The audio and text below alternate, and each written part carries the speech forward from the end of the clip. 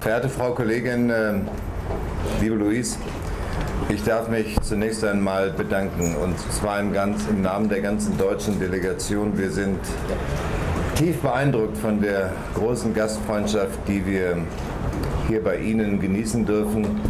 Wir danken nicht nur für Gespräche, die wir im Verlauf des gestrigen Nachmittags haben konnten, sondern auch für einen wundervollen Abend, den wir gestern wirklich genossen haben. Und die Gespräche haben es gezeigt, aber auch der Abend selbst, dass äh, obwohl unsere beiden Länder einige tausend Kilometer voneinander entfernt liegen, es gibt doch eine große Nähe zwischen uns beiden Ländern. Uns verbinden, verbindet die Überzeugung von der Notwendigkeit und Durchsetzung gemeinsamer Werte. Und äh, ich habe gestern Abend gesagt, vielleicht auch äh, ähnliche Erfahrungen, die wir gemacht haben, dass man nach schwierigen Zeiten versuchen muss, ein Land wieder zusammenzubringen, Versöhnung, innerstaatliche Versöhnung zu betreiben und äh, für diesen Prozess die notwendige Geduld und Beharrlichkeit braucht.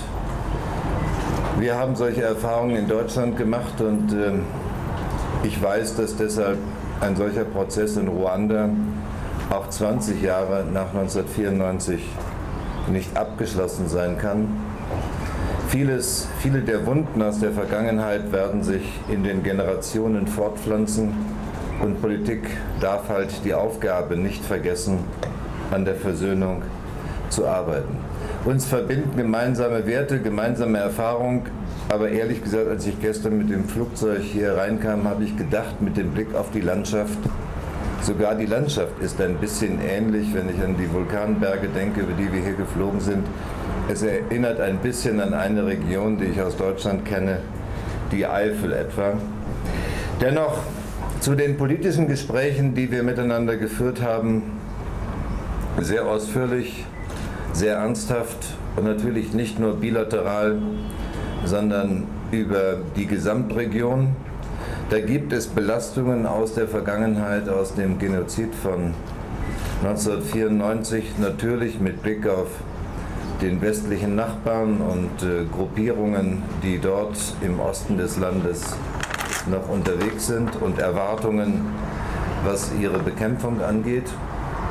Es gibt aber auch äh, mit Blick auf die Gesamtregion der großen Seen sehr beachtenswerte Bemühungen, eine regionale Zusammenarbeit zu organisieren, die vielleicht langsam, aber doch stetig vorankommt. Bei den Besuchen, die ich äh, zuletzt in Tansania oder in Angola gemacht habe, so höre ich auch hier, dass äh, bei den Staaten rund um die großen Seen doch große Hoffnung besteht, dass man durch diese neue Form der Zusammenarbeit auch ein Friedensincentive setzt und versucht, durch diese Zusammenarbeit konflikthafte Entwicklungen zu vermeiden.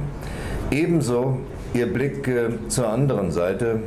Wir haben ebenfalls gestern darüber gesprochen, dass Ruanda eines der Länder ist, das sich ganz stark in der East African Community organisiert und sich dort auch engagiert. Ähm, wir sehen das mit großer Freude und wollen mit unseren Möglichkeiten diesen Prozess der regionalen Kooperation auch tatsächlich stärken. Wir haben gute Beziehungen zur East African Community und unterstützen auch ein wenig mit unseren Möglichkeiten den Aufbau gemeinsamer Institutionen.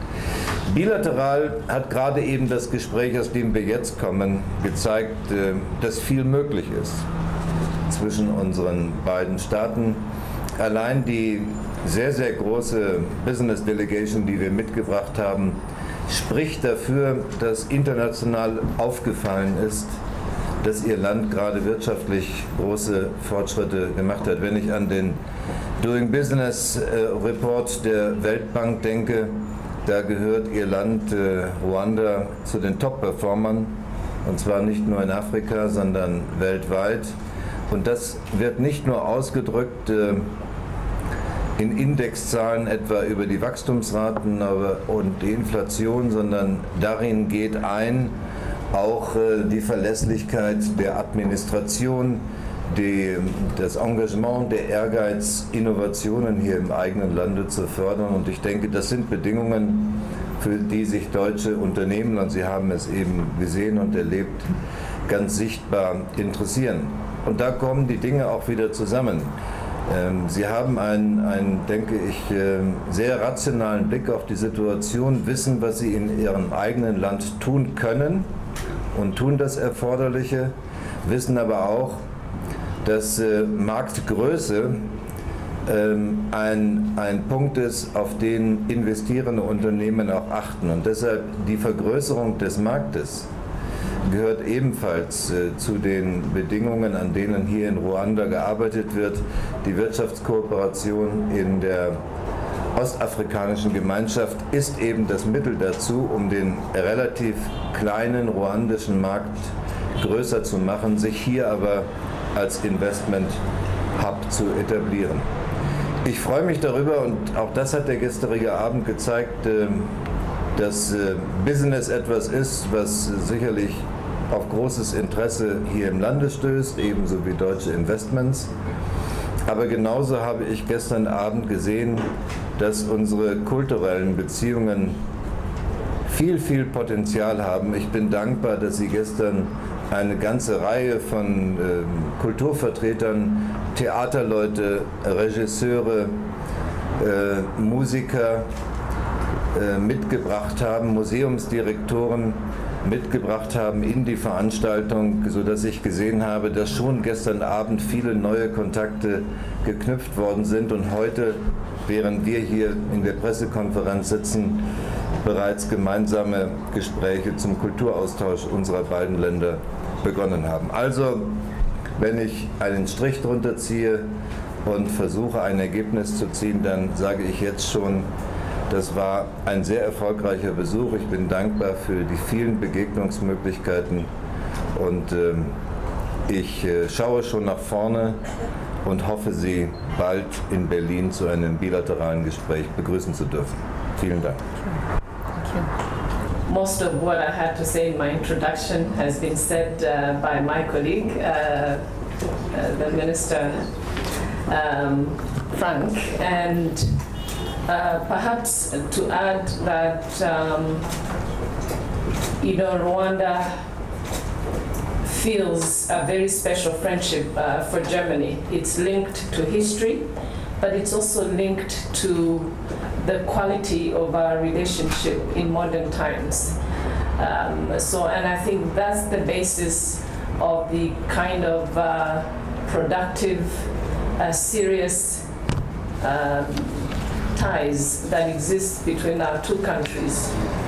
Um, also to uh, mention that um, in our discussions uh, last night before dinner and again in the time the minister and I spent with the business uh, group next door, uh, we talked about the bilateral relationship between Rwanda and Germany uh, on the Rwandan side uh, being a way for Rwanda to extend and protect uh, its partnership with Germany in the region, uh, both in Central Africa, where we belong, and in East Africa, where we also belong. Uh, the minister mentioned a minute ago the size of our uh, market um, and he's right. Uh, one of the greatest benefits of integration is that uh, Rwanda, at least for East Africa, the East African community, Rwanda moves uh, from a market of 11 million people to 140 million uh, people. Uh, that's one. Two, we have been thinking that by investing in the people of Rwanda, by um, having a, an educated, uh, healthy, um, and, um, um, and serious uh, citizenry. That allows us also to foster innovation and to allow our people to go out in the world and, and find, uh, find their way, find uh, knowledge, find business. So that, that is part of our, of our strategy.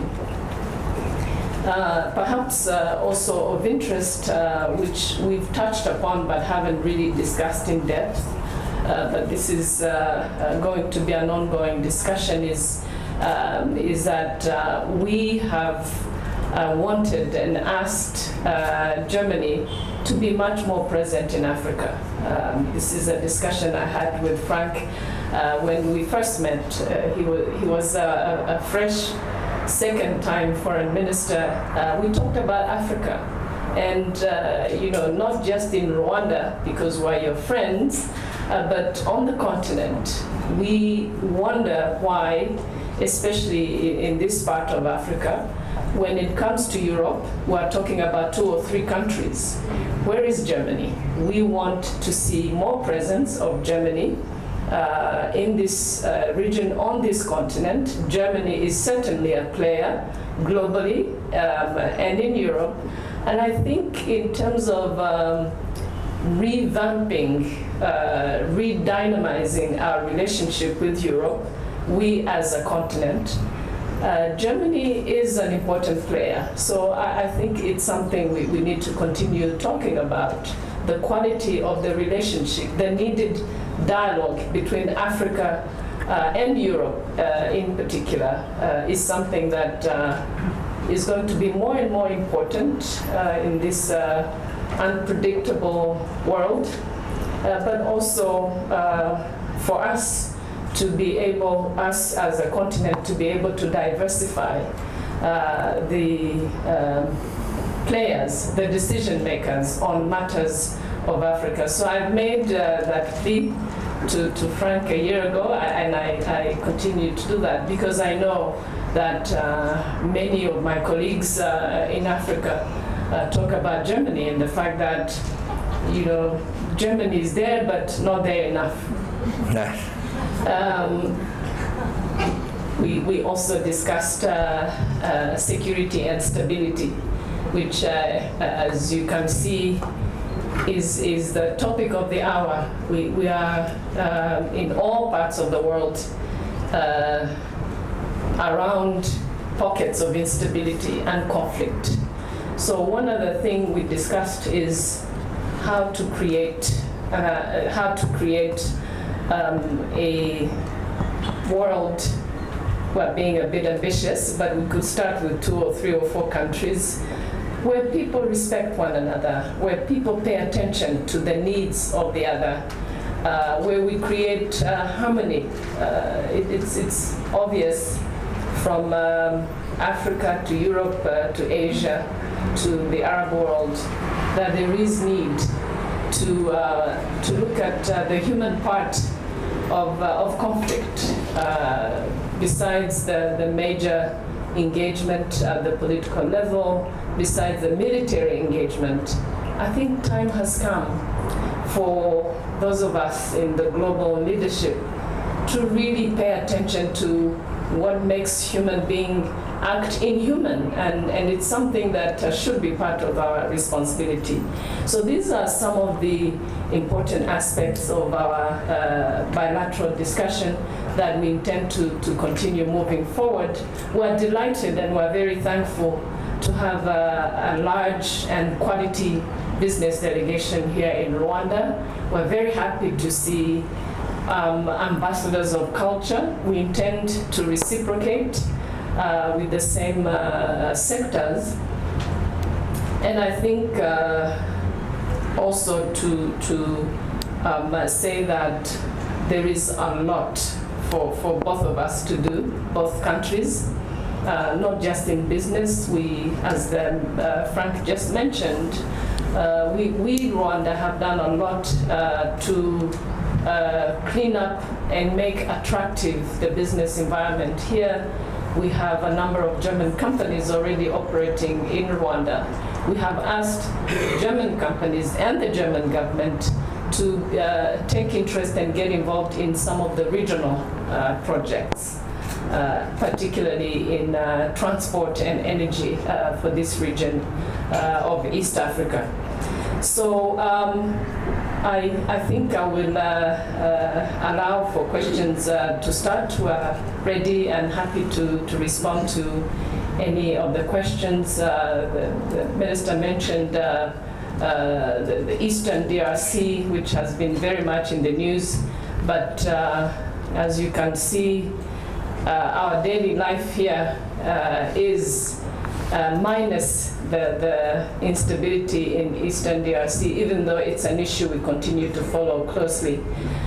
so I'm very happy to have uh, also members of the German media, which we don't get you here often.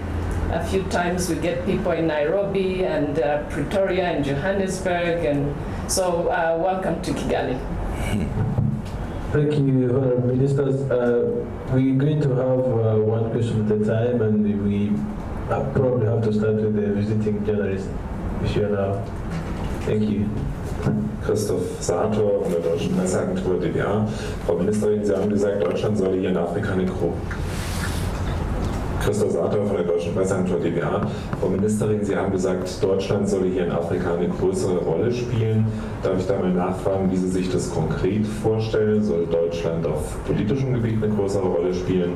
Äh, soll die militärische Zusammenarbeit oder militärische Hilfe ausgebaut werden? Und an Sie, Herr Steinmeier, die Frage, wie könnte denn diese Rolle aussehen?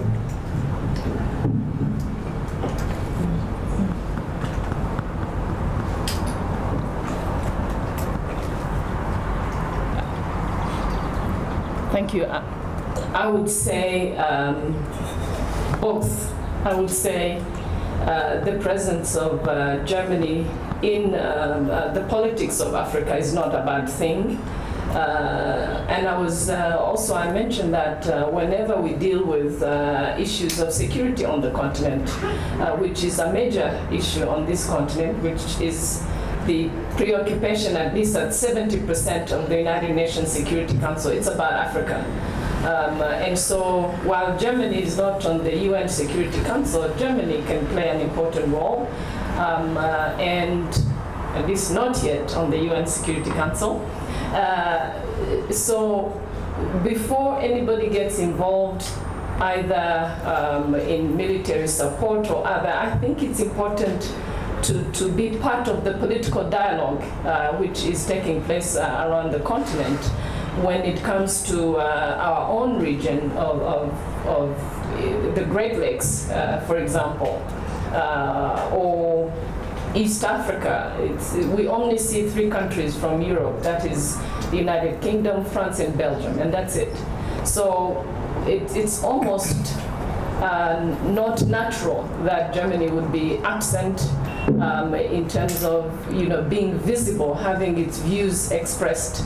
Uh, military engagement is a decision, is a sovereign decision, uh, but there are many ways to, to support, for example, peace. We, we are Rwanda, uh, a major peacekeeper uh, country, well, number one uh, perhaps in this region, but uh, number five worldwide as a peacekeeper. We've had very good discussions with the ambassador of Germany here uh, throughout uh, the last two years about our peacekeepers in the Central African Republic. Uh, we've, we've discussed, um, uh, uh, for example, some of the, the equipments uh, that are needed for peacekeepers. That's also an important contribution.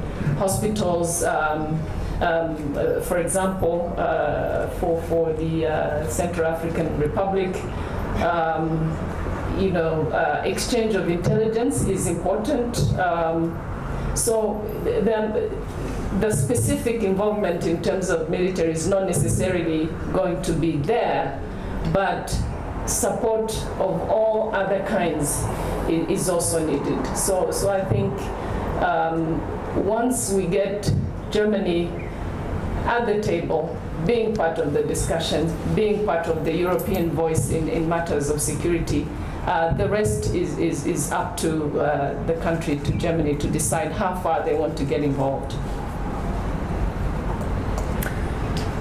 Ja, vielen Dank. Äh, was die an mich gerichtete Frage angeht, will ich zunächst mal vorausschicken, liebe Louise, deine Mahnung aus unserem ersten Gespräch haben wir ja durchaus berücksichtigt und äh, mehr Präsenz gezeigt als in den vergangenen Jahren, wenn, wenn ich bedenke, dass äh, ich selbst trotz Nahost, trotz Mittelostkrise, trotz Syrien und Irak und Ukraine jetzt in diesem ersten Jahr allein zu vier Besuchen ähm, in Afrika unterwegs war und ich habe die Maghreb-Region nicht mitgezählt. Ähm, allein vier Besuche im ersten Jahr, das deutet ja schon auf gewisse Veränderungen in der deutschen Außenpolitik hin. Das ist eine Veränderung, die ich auch äh, in meiner Antrittsrede jetzt in der zweiten Periode deutlich gemacht habe, indem ich gesagt habe, wir müssen uns Afrika neu stellen.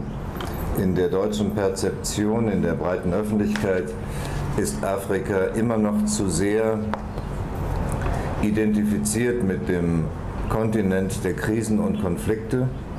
Krisen und Konflikte gibt es nach wie vor, das ist keine Frage. Aber es stimmt eben nicht mehr für ganz Afrika, sondern es gibt Anker der Stabilität, denen wir uns auch mit besonderem Interesse zuwenden. Und äh, das ist einer der vielen Gründe, weshalb wir heute hier in Ruanda sind. Zweitens die Frage von Herrn Sator, was kann Deutschland eigentlich tun in einer solchen Situation? Dann muss man sich zunächst mal fragen, warum hat Deutschland eigentlich ein Interesse an einer solchen Kooperation mit Ruanda? Warum hat Deutschland ein Interesse jenseits des Ökonomischen? Und dieses Interesse jenseits des Ökonomischen, finde ich, wird ganz deutlich. Ruanda hat gerade seine Periode als Mitglied des Sicherheitsrates in den äh, Vereinten Nationen hinter sich.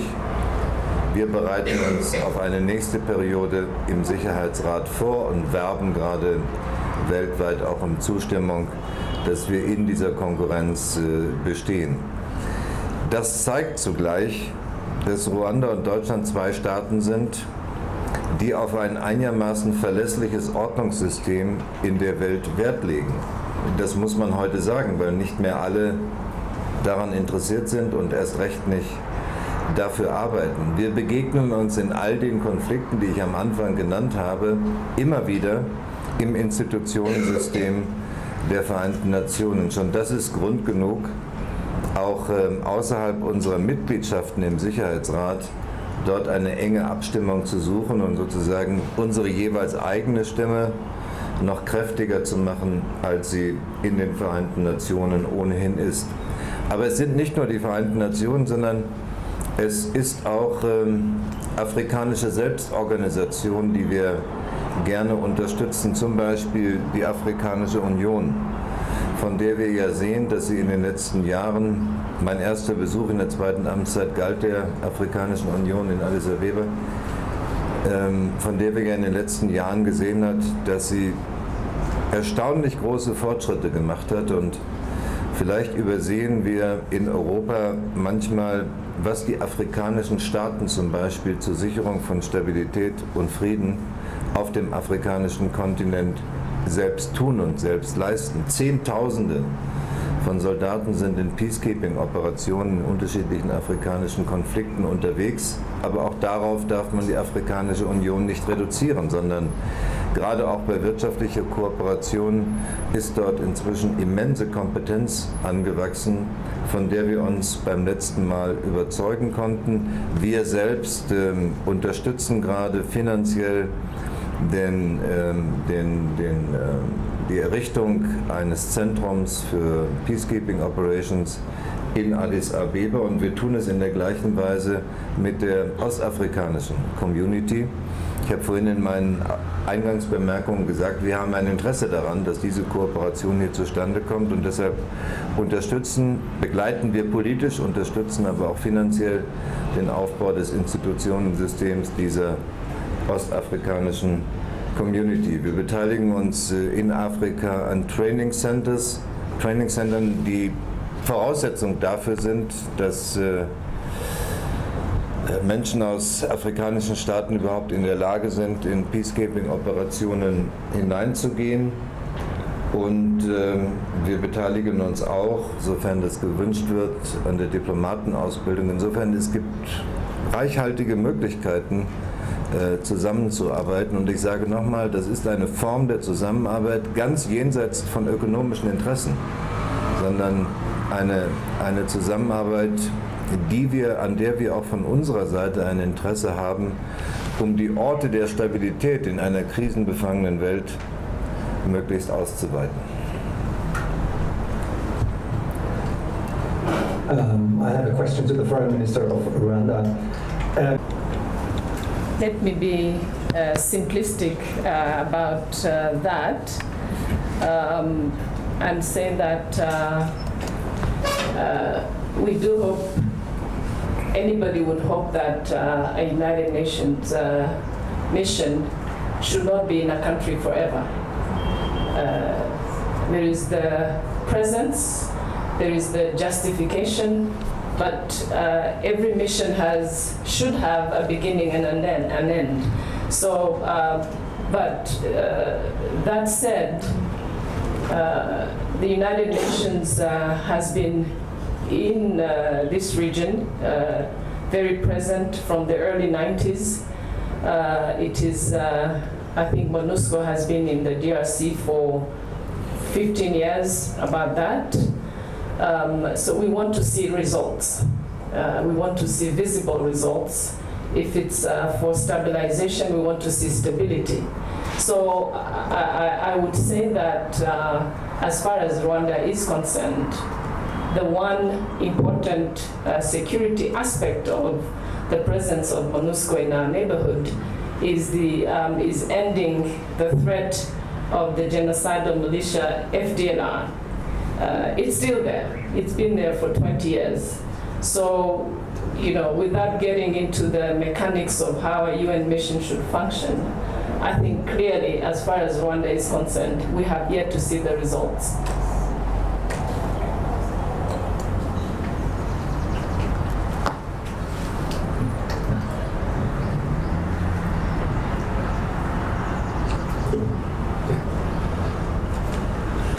Thank you. Um, uh, my Silvanus Karim. I work for Rwanda Broadcasting Agency. My question goes to Honourable Minister Frank Walter Steinmeier. Uh, Honourable Minister, you said in your speech that uh, Rwanda and Germany share similar similarities when it comes to tragic history.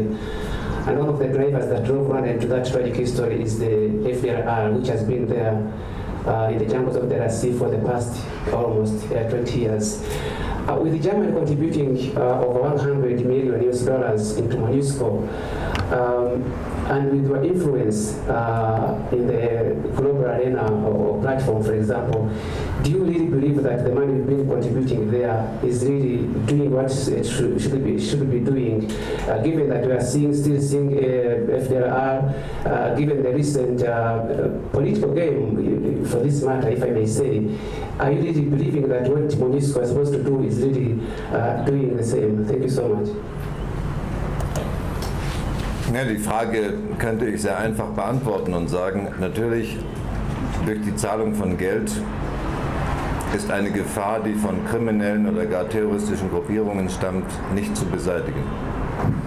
Aber wir müssen sehen, dass es ähm, ohne die Anwesenheit von MONUSCO in der Vergangenheit keine Bekämpfung von solchen Gruppierungen gegeben hätte. Immerhin im Falle von M23 war das erfolgreich. Und selbstverständlich, jenseits einer Ermächtigung äh, in den Vereinten Nationen, jenseits der finanziellen Unterstützung, die von UNESCO ja nun reichhaltig geleistet wird, mehr als 4 Milliarden Euro, ähm, jenseits dieser finanziellen Unterstützung äh, braucht es den politischen Willen, eine solche Gruppierung tatsächlich zu bekämpfen. Wir haben uns gestern darüber unterhalten. Mein Eindruck ist nach den Gesprächen, die wir gestern mit der MONUSCO hatten, an der Spitze der MONUSCO besteht ein solcher Wille. Ob der durchkreuzt wird, beeinträchtigt wird, ob politische Spiele im Hintergrund gespielt werden, das ist aus der, aus der Ferne nur sehr schwer zu dechiffrieren. Aber ich würde unterstellen, dass äh, viele ihren Einfluss mit unterschiedlichen Zielsetzungen geltend machen.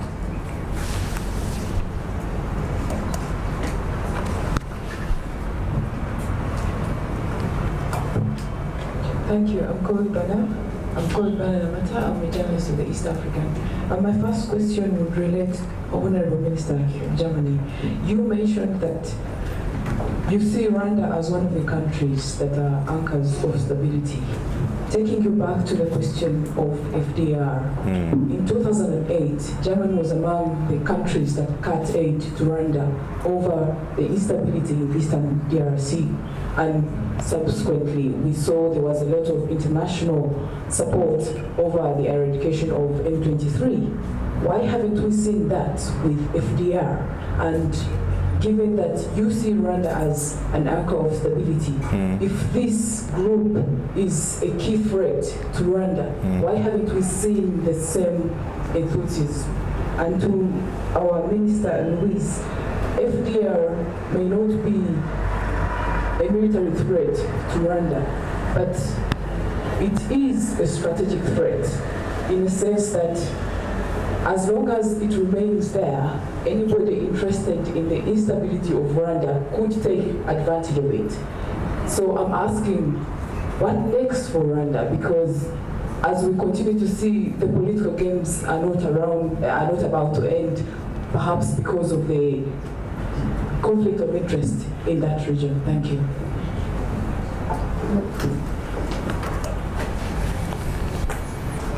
Glaube, ich habe eben in meinen Be- Bemerkungen deutlich gemacht, äh, dass ich die Gefahrensituation ja unverändert sehe. Und selbstverständlich, wenn es diese Gefahren nicht gäbe, dann brauchte es nicht eine Ermächtigungsgrundlage für, eine, für einen internationalen Einsatz der Vereinten Nationen. Und wenn es diese Gefahren nicht gäbe, dann brauchte es auch nicht die Anwesenheit von MONUSCO. Es bleibt dabei und insofern komme ich auf das eben Gesagte zurück. Mein Eindruck, nachdem ich auch mit der, mit der Spitze von MONUSCO gestern gesprochen habe, mein Eindruck ist, an der Spitze besteht der Wille, die FDLA ähm, zu bekämpfen. Hindernisse müssen in der internen Organisation überwunden werden. Und äh, ich kann nur hoffen, dass äh, den Beteiligten in der Führung von MONUSCO das gelingt.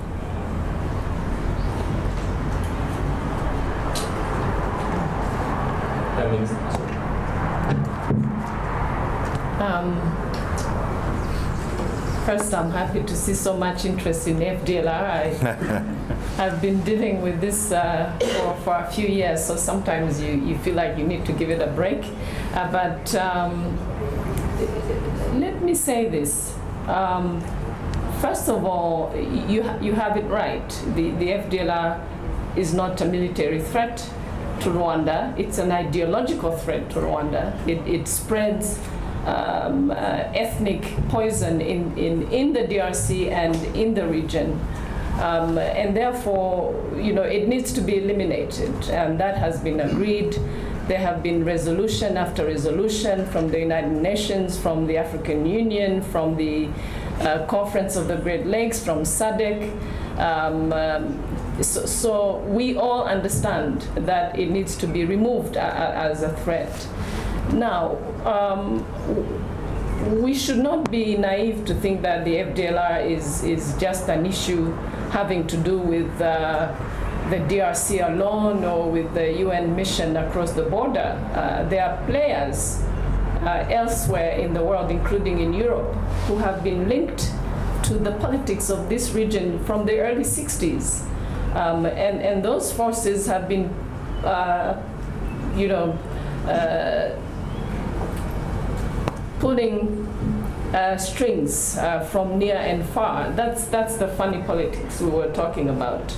So, so we're not naive to think that, uh, you know, with, uh, with uh, military action alone, uh, this would happen. But the military action is very important as a disincentive for the FDLR to keep moving around the, the bush, the bushes of, of DRC across our border. So um, there are players uh, from New York to different capitals in Europe um, uh, and to DRC. So I, I think uh, one of the reasons we see all these uh, political games and excuse after excuse uh, not to go after the FDLR is uh, interest, negative interests of other countries beyond the region as well. So um, yeah, the political will is not just uh, needed from Kinshasa, that's a fact. Uh, but we as Rwanda, uh, we can only do what is in our power, which is militarily to prepare uh, to fend off uh, anybody, at least within our borders. We know that uh, that's something we have to do to protect our people, hoping that eventually those who have made pledges and promises will, will uh, honor their, their, their pledges and, and, and remove uh, this group once and for all. We, we've been waiting for 20 years. Uh, but we're anxious to get to serious economic cooperation. We are anxious to repatriate Congolese refugees that have fled the FDLR, that have been living in this country. Close to 70,000 of them are in this country. They need to go back home. So we, we want to uh, move to serious business, but uh, again, um, some of the countries with the power to stop the threat of the FDLR have not shown a lot of goodwill. Achim Unser, N24. Herr Minister, am Ende noch eine Frage zur Ukraine-Krise. Die USA haben Russland verschärfte Sanktionen angedroht, in dem Fall, dass Russland nicht ausreichend an dem Minsker Abkommen, an dem Minsker Abkommen äh, mitwirkt. Halten Sie diesen Schritt für verfrüht oder ist das okay für Sie? Ich habe das in den Agenturen gesehen. Ich weiß nicht, zu welchem Zeitpunkt diese Äußerung gemacht worden ist. Äh, Ich kann nur sagen, nach den letzten Gesprächen, die ich mit dem amerikanischen Außenminister geführt habe, und die waren zahlreich in den letzten Wochen, ähm, haben wir die Unterstützung für den Weg, den wir gegangen sind in den USA wird richtig bewertet, dass das keine einfachen Verhandlungen waren, um zu dem jetzigen Zustand zu kommen. Wir umgekehrt sagen, wir sind weit davon entfernt, ähm, den verhandelten Waffenstillstand äh, schon stabil gemacht zu haben.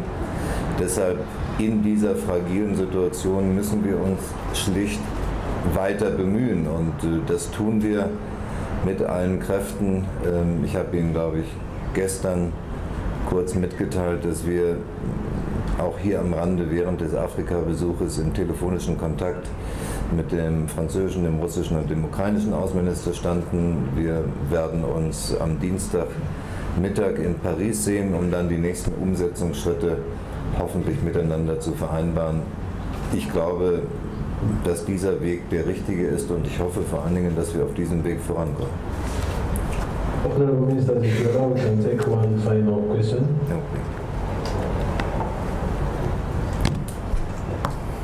Thank you very much. My name is uh, Eugene Kwibuka.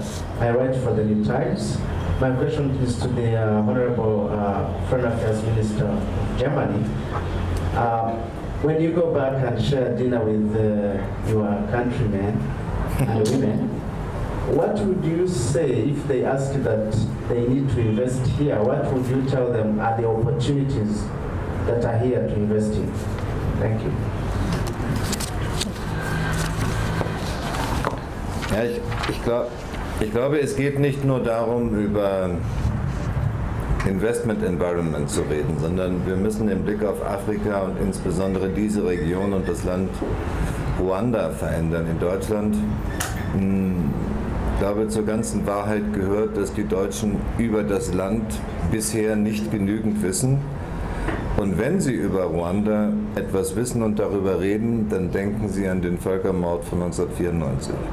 Das ist nicht die ganze Geschichte Ruandas und es ist insbesondere nicht die heutige Realität. Wir haben vorhin gesagt, dass die Wunden ähm, dieses Völkermords noch lange brauchen werden, um wirklich zu verheilen. Es braucht dazu Geduld und begleitende Politik. Aber heute würde ich sagen, ist dieses Land in der Tat ein Anker der Stabilität in einer Region, die von vielen Konflikten befangen ist. Einen haben wir gerade mit Blick auf den Ostkongo auch hier in der Pressekonferenz behandelt. Und es ist unübersehbar, wenn Sie danach fragen, was erzählen wir den deutschen Geschäftsleuten. Es ist unübersehbar, dass wir hier ähm, eindrucksvolle Wachstumszahlen haben, begleitet durch äh, niedrige äh, Inflation.